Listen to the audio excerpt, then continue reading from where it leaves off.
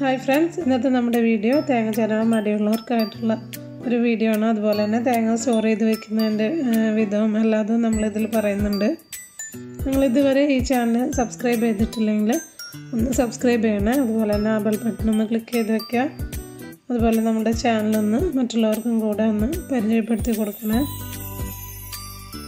നമ്മൾ തേങ്ങ വാങ്ങിക്കുമ്പോൾ ഈ ഒരു രീതിക്കായിരിക്കും കിട്ടുക ഇങ്ങനെ കിട്ടുമ്പോൾ ഇങ്ങനെ നമ്മൾ സൂക്ഷിച്ച് വെക്കുമ്പോൾ ഇത് മേൽഭാഗത്താക്കിയിട്ട് ചകിരി ഭാഗം മേലാക്കിയിട്ട് റിമൂവ് ചെയ്യാതെ തന്നെ വെച്ചിട്ട് മേലേക്ക് ആക്കിയിട്ട് അങ്ങനെ സ്റ്റോർ ചെയ്യുക ഈ ചകിരി കഴിഞ്ഞു കഴിഞ്ഞാൽ കണ്ണിൽ നിന്നാണ് കേട് വന്ന് തുടങ്ങുക. അപ്പോൾ അത് പെട്ടെന്ന് കേടാവാൻ ചാൻസ് കൂടുതലാണ്. അതുപോലെ ഈ ചകിരി മാറ്റുമ്പോൾ നമ്മളൊരു കത്തി വെച്ചിട്ട് ചെറുതായി ഇങ്ങനെ പറിച്ച് പറിച്ച് എടുക്കുകയാണെങ്കിൽ ഈസി ആയിട്ട് തന്നെ റിമൂവ് ചെയ്യാൻ പറ്റും. കയ്യിന് അധികം എഫേർട്ട് ഇല്ല. അതുപോലെ ഇത് വെട്ടുന്ന ഒരു കത്തിയുടെ ബാക്ക് സൈഡ് വെച്ചിട്ട് നമ്മൾ കട്ട് ചെയ്യാൻ നോക്കാം അതുപോലെ ഞാനിത് കട്ട് ചെയ്യുമ്പോൾ രണ്ട് കണ്ണും ഒരു വായമായിട്ട് കണക്കാക്കും. അടുത്തടുത്തുള്ളത് രണ്ട് കണ്ണും ഒരു വായം.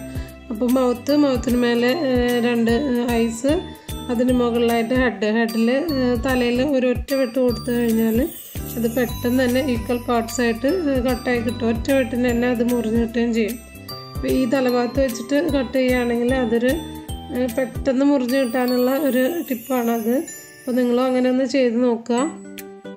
അതുപോലെ തേങ്ങയുടെ വെള്ളത്തിൽ ഇതുപോലെ കരടുകളൊന്നും വീഴാതിരിക്കാൻ തേങ്ങയുടെ ആ ഒരു പൊടികളൊന്നും വീഴാതിരിക്കാൻ തേങ്ങ നനച്ചിട്ടൊന്നും വിട്ടുകയാണെങ്കിൽ ഇത്രയും പൊടികളൊന്നും ഉണ്ടാവില്ല.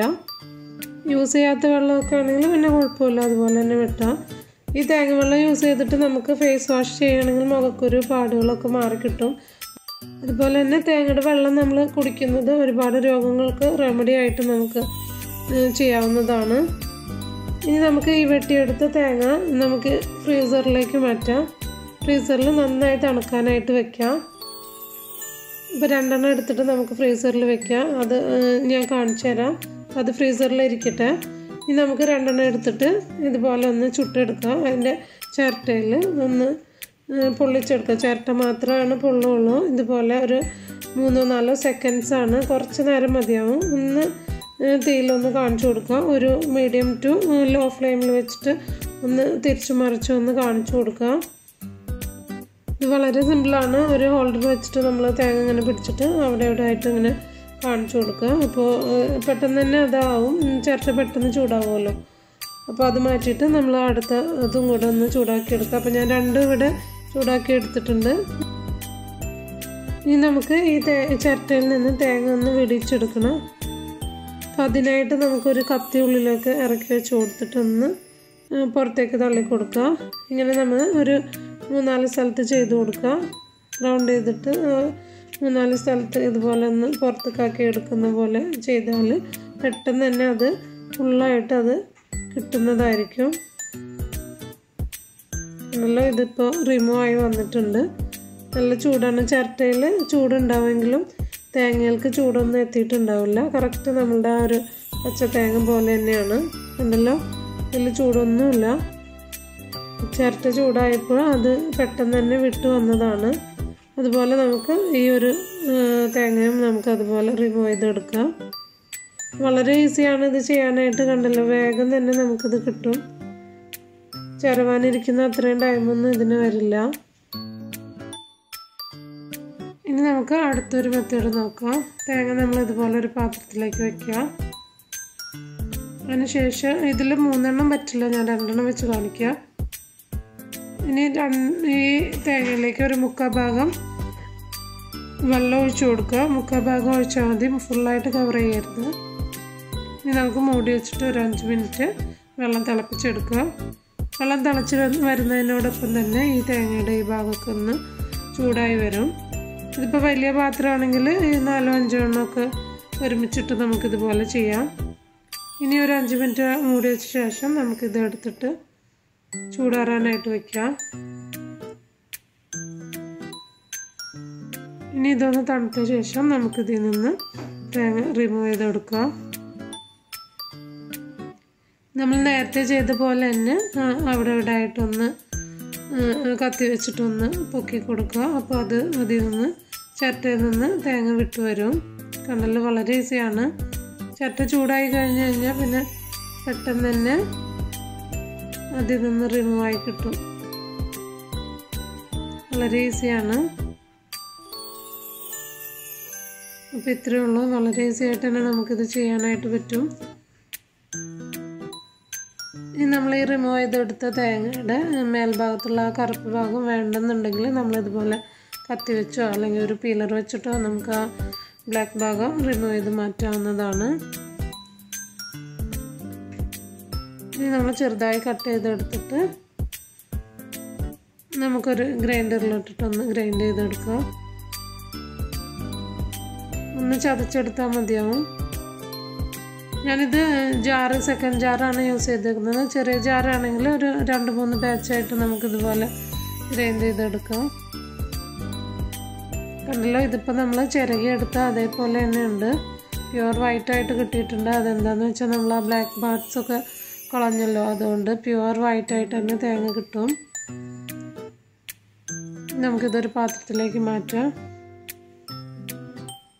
ഇത്രയുള്ള പണി നല്ല ഈസിയാണ്. നമുക്ക് ടൈം പോലെ ചെയ്തെടുക്കാവുന്നതാണ്. ഇനി നമുക്ക് ഈ ബ്ലാക്ക് ഭാഗം മാറ്റാതെ നമുക്കിതുപോലെ ചെറിയ വെക്കാം ടൈമൊന്നും ഇല്ലെങ്കിൽ അത് മാറ്റണമെന്നൊന്നുമില്ല ടേസ്റ്റിലൊന്നും ഒരു വ്യത്യാസം ഉണ്ടാവില്ല. പക്ഷേ കളറ് പ്യുവർ വൈറ്റ് ആവില്ല എന്നേ ഉള്ളൂ നമുക്കിത് ജാറിലിട്ട് നേരത്തെ ചെയ്ത പോലെ തന്നെ ഒന്ന് ഗ്രൈൻഡ് ചെയ്തെടുക്കുക കുറേ ഉണ്ടാകുമ്പോൾ നമ്മളിതുപോലെ വലിയ ജാർ ഉപയോഗിക്കുന്നതായിരിക്കും നല്ലത്. അപ്പോൾ കണ്ടില്ലേ ഇത് നമ്മൾ ചെറിയെടുത്ത് അതേ തേങ്ങയുടെ പോലെ തന്നെ കിട്ടിയിട്ടുണ്ട്. ഇതിന്റെ കളറിൽ ചെറുതായിട്ടൊരു ചേഞ്ച് ഉണ്ട്. പക്ഷെ നമ്മൾ തേങ്ങ ചിരവുമ്പോൾ ആ കറുത്ത ഭാഗങ്ങൾ ഇൻക്ലൂഡായിട്ട് വരാറുണ്ടല്ലോ. അപ്പോൾ അത് അതുപോലെ തന്നെയാണ് ഈ ഒരു തേങ്ങ നമ്മൾ ചെയ്തെടുക്കുമ്പോഴും കിട്ടുക. പക്ഷെ വൈറ്റ് ചട്നിയൊക്കെ ഉണ്ടാക്കുമ്പോൾ നമ്മൾ ഈ പ്യുവർ വൈറ്റ് ആയിട്ടുള്ള ഈ തേങ്ങ വെച്ച് ചെയ്യുമ്പോൾ നല്ല ഭംഗിയാണ് കാണാനായിട്ട്. പക്ഷെ ഇങ്ങനെയാണെങ്കിലും രണ്ട് കളർ ചേഞ്ച് ആയിട്ടുണ്ടെങ്കിലും ടേസ്റ്റിൽ മാറ്റമൊന്നുമില്ല. ഇനി നമ്മൾ മൂന്നാമത്തെ മെത്തേഡ് നമ്മൾ നേരത്തെ ഫ്രീസറിൽ വെച്ചിട്ടുണ്ടായിരുന്നല്ലോ തേങ്ങ.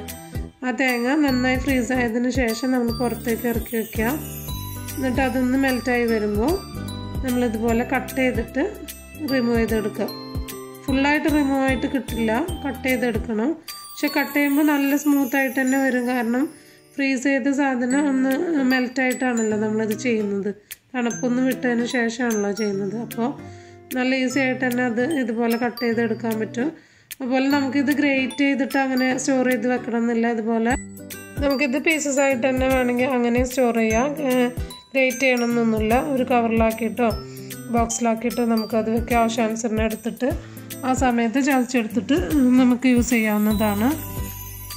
തേങ്ങ കുറച്ച് അധികമൊക്കെ ഉണ്ടെങ്കിൽ നമ്മൾ ഇതുപോലെ ഐസ് ട്രേലാക്കിയിട്ട് നന്നായി പ്രസ് ചെയ്തിട്ട് ക്യൂബ് പോലെ ആക്കിയിട്ട് വെക്കുകയാണെങ്കിൽ നമുക്ക് ആവശ്യാനുസരണം നാലോ അഞ്ചോ ക്യൂബ്സ് എടുത്തിട്ട് യൂസ് ചെയ്യാവുന്നതാണ്. ഈസി ആയിട്ട് തന്നെ എടുക്കാൻ പറ്റും. ഇതുപോലെ ട്രേയിൽ നിന്ന് മാറ്റിയിട്ട് ഒരു സിബ്ലോക്ക് ബാഗിലാക്കി വെക്കാം.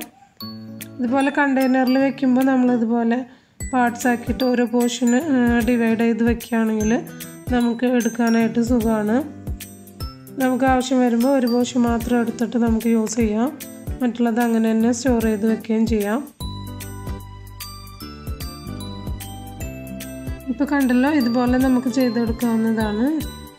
ഇനി നമുക്ക് വേറൊരു മെത്തേഡ് എന്ന് പറയുന്നത് നമ്മളൊരു ബട്ടർ പേപ്പറോ അല്ലെങ്കിൽ ഇനിയിപ്പോൾ നാട്ടിലാണെങ്കിൽ ഒരു വാഴയിലോ അല്ലെങ്കിൽ ഒരു ഒരു പ്ലെയിൻ ഷീറ്റ് എന്തെങ്കിലും പ്ലാസ്റ്റിക് ഷീറ്റോ ഏതായാലും കുഴപ്പമില്ല. ഇതുപോലെ ലെയറാക്കിയിട്ട് വയ്ക്കാം ഒരു ലെയറിന്റെ മേലെ തേങ്ങ തേങ്ങ ഇട്ട് കൊടുക്കുക. വീണ്ടും ഒരു ബട്ടർ പേപ്പറോ വാഴയുടെ ഇലയോ വെച്ചിട്ട് ഒന്നുകൂടെ ഒരു ലെയർ ഇട്ട് കൊടുക്കാം. വീണ്ടും നമ്മൾ അതുപോലെ ലെയറാക്കിയിട്ട് ഇങ്ങനെ ലെയർ ലെയറായിട്ട് വെക്കുകയാണെങ്കിലും സുഖമാണ്. നമുക്ക് ആവശ്യം വരുമ്പോൾ ഒരു ലെയർ മാത്രം തേങ്ങ നമുക്ക് എടുത്തിട്ട് യൂസ് ചെയ്യാവുന്നതാണ്.